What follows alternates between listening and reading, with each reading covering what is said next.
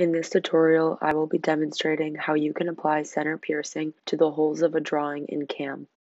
When you first convert your drawing to CAM, you will notice that the initial toolpath has the fab head drawing circle shapes for the hole cutouts. Instead, we use center piercing to drill directly into the hole's center. Locate the center piercing icon in the top toolbar. In the parameters panel, you can set a minimum and or maximum radius limit that specifies which holes the piercing feature will be applied to. After you check it in, notice that the change in the toolpath indicates which holes will now be pierced. Now find the plasma settings icon in the top toolbar where you can further specify the parameters for piercing. Specify your plasma torch nozzle with the following options. Note, however, that the following parameters will be automatically adjusted when the nozzle is specified However, you can also input them manually. For the plasma gas setting, you have an option of air or F5. For the quality level, toggle whether the toolpath will be optimized for best quality or fastest cutting.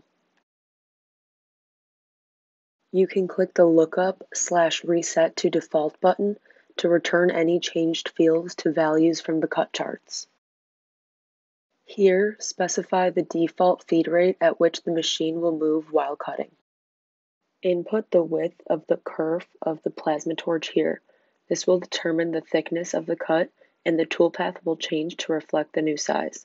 The toolpath is automatically offset outside by one half the kerf width for parts and automatically offset inside by one half the kerf width for cutouts. Pierce height specifies the height at which the torch will initially pierce before cutting along the toolpath. If your machine is set to do a touch-off at the beginning of each cut, then the pierce height is relative to the last touch-off location. Cut height specifies the height at which the torch will cut the part along its path. If your machine is set to do a touch-off at the beginning of each cut, then the pierce height is relative to the last touch-off location. Pierce delay specifies the time between the command for the torch to fire and the motion of the machine. The delay allows the torch time to pierce completely through the material prior to any other machine motion. This is the target voltage for the THC system in order to maintain a specified cut height. The set point value is determined by the cut chart for each plasma torch and can also be found in the operator's manual of the plasma torch. It is dependent on the material type, thickness, torch settings, and other parameters. When sampling is enabled, the system will automatically detect this voltage and track it throughout the cut. The higher the voltage, the higher the torch will cut. Lower the set point to bring the torch closer to the material during cut moves. Amperage specifies the operating amperage of the torch. Pressure specifies the air pressure of the torch in pounds per square inch. Edge start, when checked, indicates that the cut will start at the edge of the workpiece. This can be an optimal choice when you're working with certain thick materials. Here, toggle whether the corners on the toolpath will be sharp or rounded.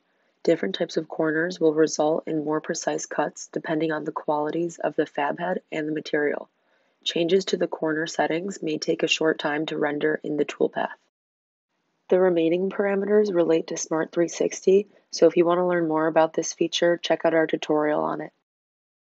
Once you are satisfied with the plasma settings, send your drawing to CNC and you're ready for cutting.